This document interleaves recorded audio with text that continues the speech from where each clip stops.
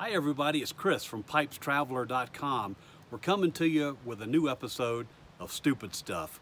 All kinds of interesting things that you might enjoy.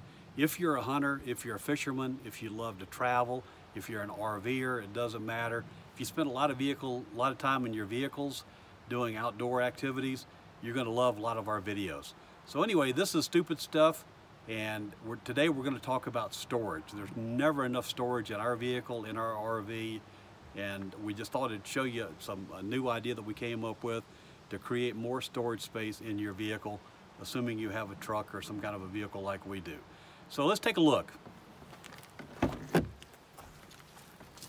Right here in the back of my Ford F-150, and if you look down underneath the seat, you'll see the profile of the storage box underneath there. It matches the profile of the seat just about perfect.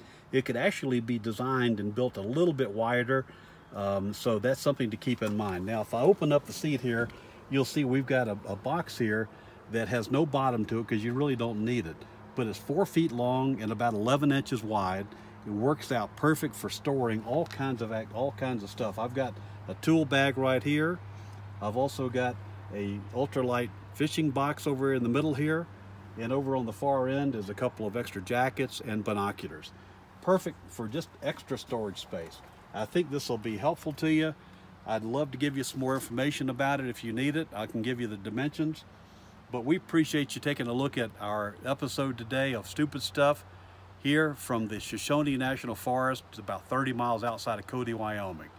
If you like our video, please give us a thumbs up and subscribe to our channel if you would. We appreciate it very much. Chris Pipes, pipestraveler.com. Thank you.